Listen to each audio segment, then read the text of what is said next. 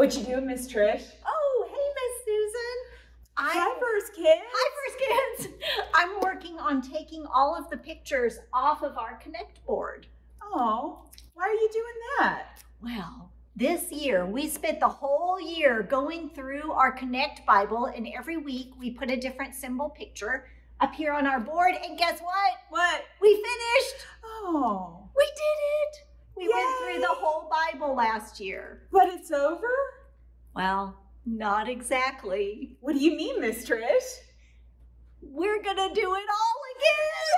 I know. I I'm so excited. I am too, because the Bible is a word from God that speaks to us in different ways every single time we read it. So reading it just one time isn't, it's a good thing, but it's not a big checkbox and then you're all done. We read it again and again, and the Holy Spirit will reveal something new every time.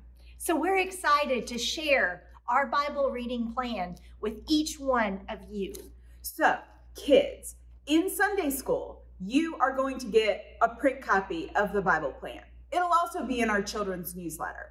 Adults, if you'd like to join us on this journey through the Bible, go ahead and pick up a copy of the print plan. It'll be on the welcome desk outside the sanctuary.